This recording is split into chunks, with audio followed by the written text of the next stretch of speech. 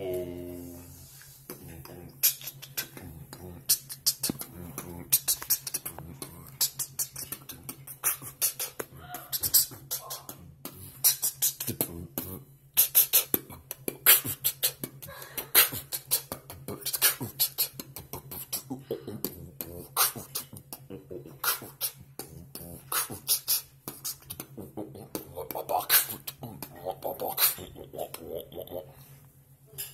so, hello.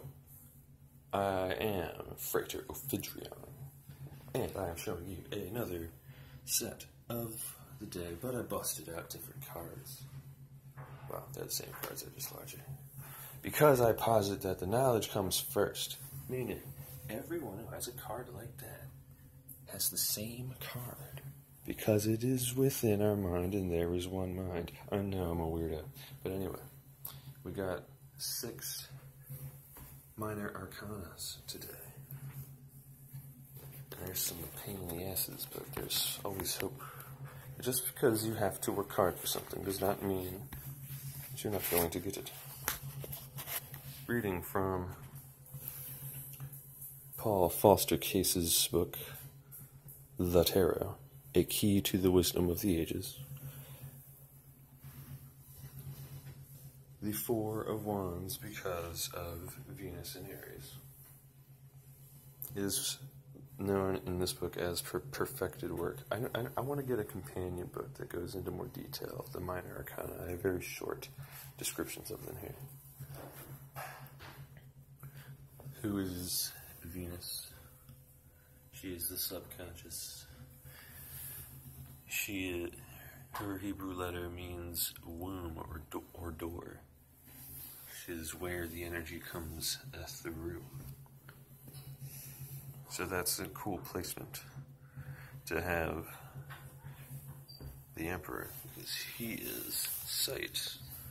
He decides who comes through the door. Perhaps that is why it is perfected work. The Five of the Pentacles.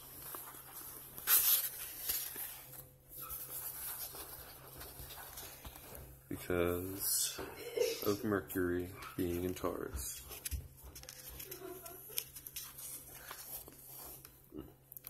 That is concordance, affinity, adaptation.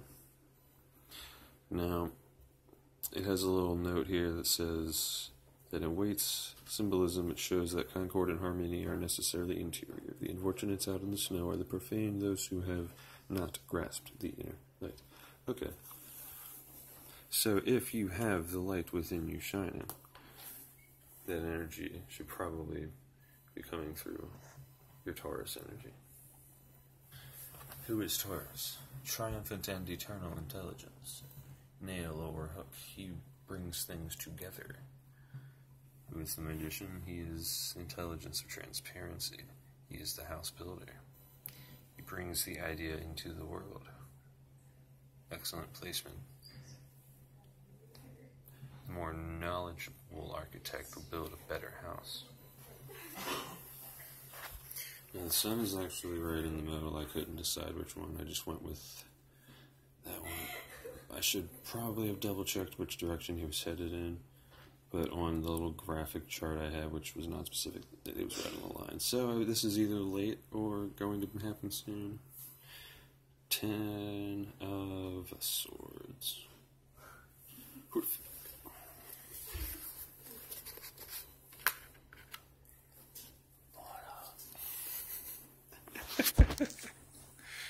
uh, what's that? Ruin, pain, desolation. Sudden misfortune, not a card of sudden. What? Not a card of sudden death. In spiritual matters, end of delusion. Ah, alright. So, how do we keep it working? Well, I had a bit of an idea one day. The nature of battle, as it were.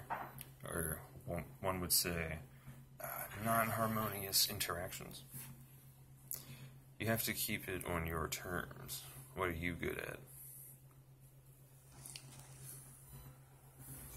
Nine of the swords. That is Mars in Gemini. Worry, suffering, despair, misery, loss. Ah, well, no one likes the Tower Guard for a couple of reasons. I shouldn't say no one. He gets a bad rap. I think it's cool. Anyway. These two images are coming through your disposing intelligence. It has to do with smelling, but the letter itself also means sword, so that which can distinguish. You must tell the difference between tools and obstacles.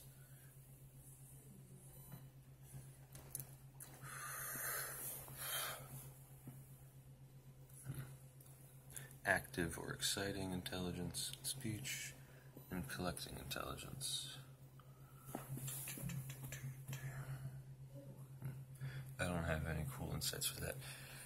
Good thing we have other channels besides my amateurness. In Libra, we have Jupiter retrograding. Now, he has a pair of opposites, it's wealth and poverty. You can explain a couple things. Depending on how you want to look at that, it is rewarding intelligence. Intelligence of these who seek. Is the grasping hand. This is all within faithful intelligence. It means to teach. So perhaps this is not necessarily a time to be teaching, but to be learning. But learning from what? He gives us the Four of Swords. Rest from strife, relief from anxiety, quietness. Rest, rest after illness, not a card of death. Coolies. Uh, Saturn is in retrograde in Sagittarius. As you can see, I've not completed my note taking like this one yet. Sagittarius is intelligence of probation or trial, tentative intelligence. So the intelligence of, I would call that uh, not procedure per se.